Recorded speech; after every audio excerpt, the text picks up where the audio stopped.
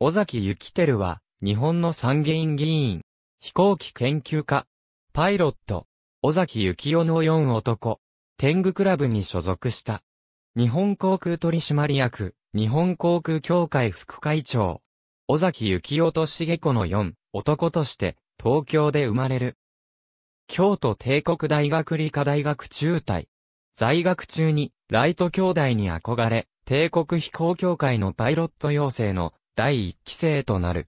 1915年所沢飛行場から青山連兵場まで卒業飛行を披露して帝国飛行協会航空局技師となる。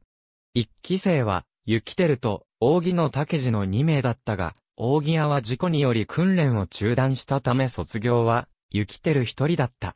青山では、帝国飛行協会総裁、国宮国彦らと共に、父、幸男と妹、清香が迎えた。同年8月には、女性記者の草分け、恩田和子を同乗し、読売新聞に登場記が掲載された。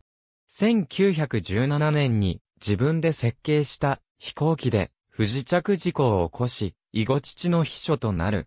1919年には父の欧州視察に同行した。1947年に第1回参議院議員通常選挙全国区に立候補し、当選。1950年参議院電気通信内閣委員会連合審査会理事となる。1951年民間航空飛行団体、大鳥、会名誉会長、日本航空取締役就任。1953年第3回参議院議員、通常選挙全国区に立候補するも落選。父、幸男も落選し、親子落選と話題になった。1955年、第27回衆議院議員総選挙32区に挑戦するも落選した。